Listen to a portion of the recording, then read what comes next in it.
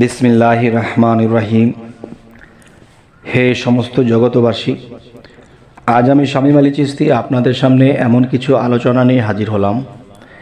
সে আলোচনাটি হলো, দেখেন, যে মানুষ কিন্তু বুঝুক না বুঝুক বা মনের আবেগ থেকে একজনকে একটু ভালো লেগেছে, তাকে বলে ফেলেছে, আমি তোমাকে ভালোবাসি।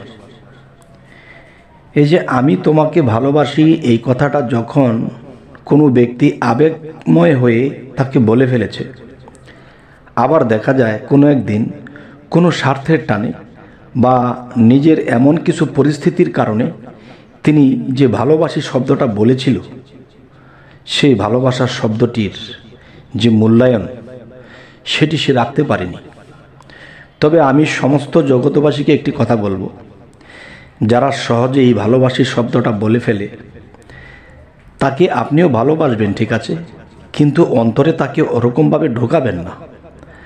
আগে দেখবেন যে এই ব্যক্তিটি যাকে তাকে ভালোবাসি বলে ফেলে, কিন্তু এই ভালোবাসি শব্দটা হিমালয় পাহাড়ের চেয়েও অনেক ওজন।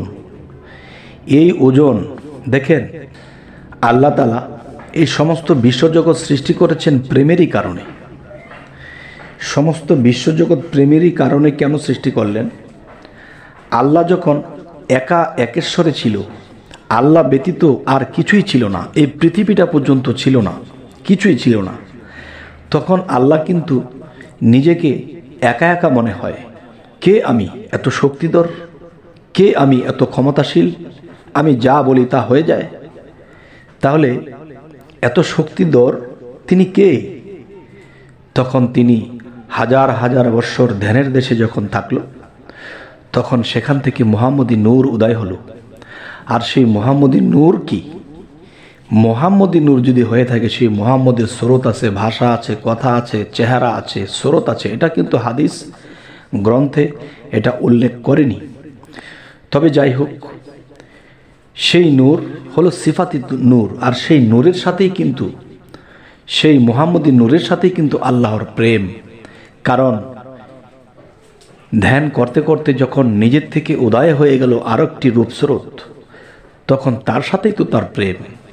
তখনই এই মোহাম্মদ সর্বশ্রেষ্ঠ হলেন, প্রেমিকের দিক দিয়ে, মহামানবের দিক দিয়ে, সর্বদিক দিয়ে সম্মানী হয়ে গেলেন। তো এখন কথা হলো, আল্লাহ কিন্তু মোহাম্মদ সাল্লাহ আলাইসাল্লামকে ভালোবাসি বলেছে। হে দোস্ত, প্রাণের দোস্তকে ওরকম ভালোবাসা দিয়ে কথা বলেছে।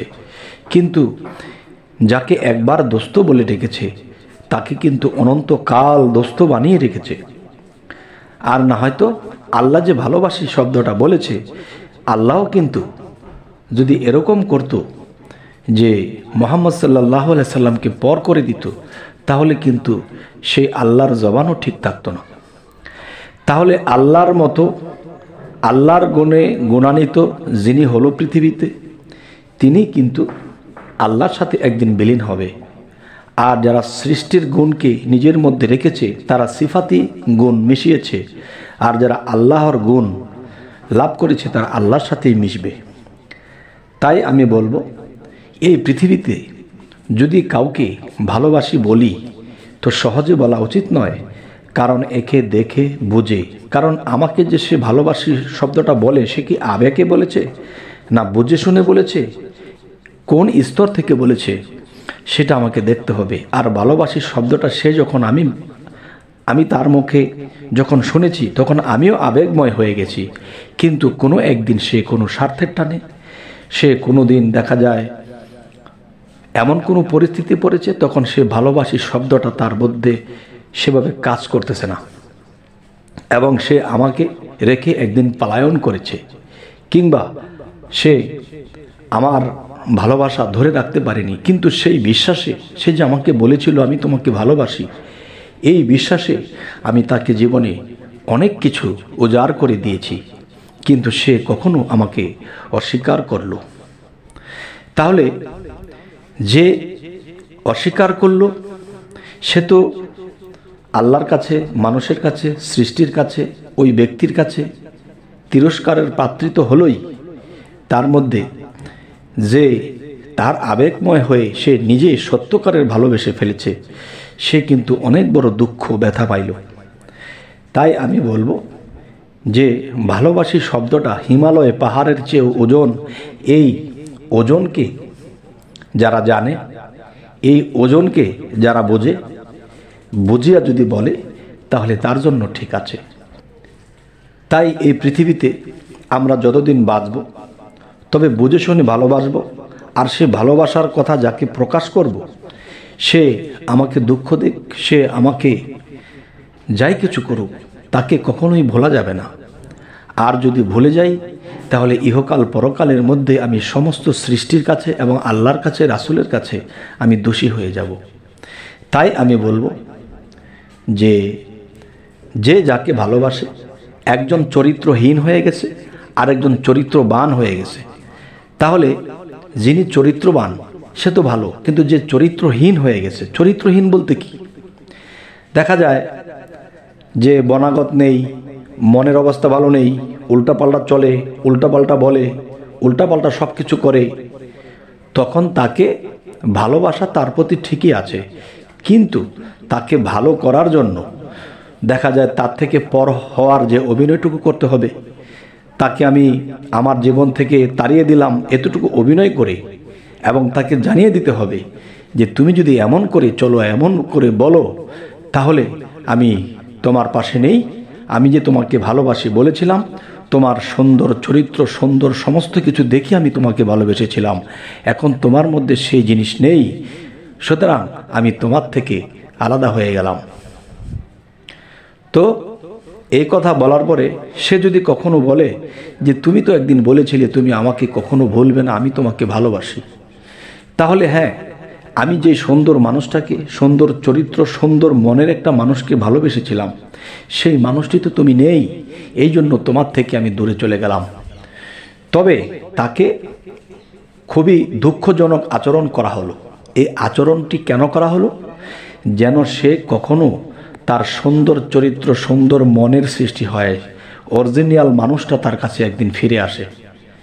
তখন হয়তো তাকে ভেঙে দেবে যে, দেখো, তোমার সাথে এই দুর্ব্যবহার যদি আমি না করতাম, তোমার মনের মধ্যে যদি আমি আঘাত না করতাম, তাহলে হয়তো তুমি আর ভালো হতে না। এখন তুমি ভালো। কিন্তু তোমার প্রতি আমার অন্তরে ভালোবাসা অবশ্যই ছিল। কিন্তু অতটুকু অভিনয় আমার কেন করতে হয়েছে তোমাকে ভালো করার জন্য? এই কথা বললে তখন সেও ঠান্ডা হয়ে যাবে এবং ভালো হয়ে যাবে। তো দেখা গেছে, এই স্তরগুলা শুধু সামাজিকভাবে নয়, ফ্যামিলিগতভাবে নয়, প্রেমিক প্রেমিকা বিষয় নয়, এই বিষয়গুলো গুরু ভক্ত হতে পারে। সমস্ত কিছু মিলিয়ে যেখানে যা লাগে তাই দিতে হবে। কারণ দেখেন, আমি একজনকে অনেক ভালোবাসি, তার শরীরের একটা আঘাত আমার আঘাত হয়ে ওঠে, তার একটা অপমান, আমার একটা অপমান হয়ে দাঁড়ায়। তখন দেখা যায় যে আমি যাকে এত ভালোবাসি, তার শরীরের মধ্যে একটা প্যারাক ঢুকেছে বা তার শরীরের মধ্যে একটা অনেক বড় কাটা ঢুকে গেছে। এখন দেখা গেছে যে তাকে যদি আমি আদর করি, ভালোবাসি, সে কিন্তু শান্তিতে নেই। তখন দেখা গেছে আরেকটা প্যারাক আনতে হবে বা আরেকটা সুচ আনতে হবে। এনে তার সেই কাটাটা বের করতে হলে আরও একটি কাটা লাগবে। সেই কাটা দিয়ে যখন ঘাইয়াইতে ঘাইয়াইতে তখন কিন্তু মানুষ দেখতেছে বা সে নিজেও বুঝতেছে, আমাকে কষ্ট দিচ্ছে, আমাকে ঘাই দিচ্ছে। আসলে তাকে ঘাই দিচ্ছে না। একটা কাটা দিয়ে আরেকটা কাটাকে টেনে তোলার জন্যে এই ঘাইগুলো দিচ্ছে। ঠিক যে যাকে সত্যিকারের ভালোবাসে, উপর দিয়ে যেরকম ব্যবহারই করুক না কেন, যতই অপছন্দনীয় কথা বলুক না কিন্তু তার অন্তরে অনেক ভালোবাসা আছে। আর এই অন্তরে ভালোবাসাটা নিয়েই তাকে ঘাই দিচ্ছে। আর ওই ঘাইগুলো যদি না দেয়, তো ভিতরের কাটাটা বের হয়ে আসবে না। তখন কি হবে? সে নিজেই ভুক্তভোগী হয়ে থাকবে, সারা জীবন কষ্ট পাবে। তো ক্ষণিকের কষ্ট হলেও যদি সারা জীবনের জন্য আরাম পাওয়া যায়, ওই কাটাটি বের করলে? তো একজন প্রেমিক মানুষ যদি অন্য প্রেমিক মানুষকে দুঃখ দেয়, কষ্ট দেয়, দেখ, তো বুঝতে হবে যে সে হয়তো আমাকে জীবনে কখনো আঘাত করেনি, এখন কেন আঘাত করে? যেই কথা যে আমাকে বলবে না জীবনে এখন কেন বলে? তাহলে বুঝতে হবে যে আমার মধ্যে কোনো সমস্যা আছে, সেই সমস্যার সমাধানের জন্য এটা করা হচ্ছে এবং কাটা দিয়েই কাটা তুলতেছে। কারণ কাটা দিয়ে যখন কাটা তোলে, তখন কিন্তু সে অনেক আঘাতপ্রাপ্ত হচ্ছে, রক্ত বের হচ্ছে। আচ্ছা মানুষের শরীরের বাহিরে দিয়ে যদি রক্ত বের হয়, এটা মানুষে দেখতে পায়, কিন্তু অন্তর থেকে যখন রক্ত ঝরে, এটা কিন্তু কেউ দেখে না। তো যাই হোক যে একজন ভালোবাসার মানুষ যাকে এত বেশি ভালোবাসে, আবার তার যদি ডিস্টার্ব দেখে, তখন তাকে ভালোবাসা আবার আগের মতো ফিরিয়ে আনতে হলে তাকে আঘাত করেই ঠিক করতে হয়েছে। কারণ যে যার ভিতরে ডিস্টার্ব আছে, যার ভিতরে সমস্যা আছে, সে কিন্তু বলতে পারে না যে আমার ভিতরে ডিস্টার্ব আছে। কিন্তু তার নিজের ভিতরে ডিস্টার্ব নিয়ে যখন সে চলে, তখন সকলকে ডিস্টার্ব দেখতে পায়। আর যখন নিজের ভিতরে সে সুস্থ মানুষ থাকে, ভালো থাকে, তখন সে প্রত্যেকটা মানুষকে সে ভালোভাবেই দেখতে পায়। তাই আমি বলব যে জগতের শিষ্য ভক্ত আছে, জগতের দেখা যায় অনেক প্রেমিক প্রেমিকা আছে, অনেক মা বোন আছে, কেউ কাউকে অনেক হৃদয় দিয়ে ভালোবাসে, আবার এই হৃদয়ের মধ্যেই সে আঘাত পেয়েছে। তবে এই আঘাতটাকে ওইভাবে যদি কেউ নেয়, তাহলে সে একদিন সত্যিকারের মানুষ হবে। আঘাতপ্রাপ্ত হবে না। তবে হে জগতবাসী আজকে আপনাদেরকে এই আলোচনাগুলো বলে কি বোঝাতে চাইলাম?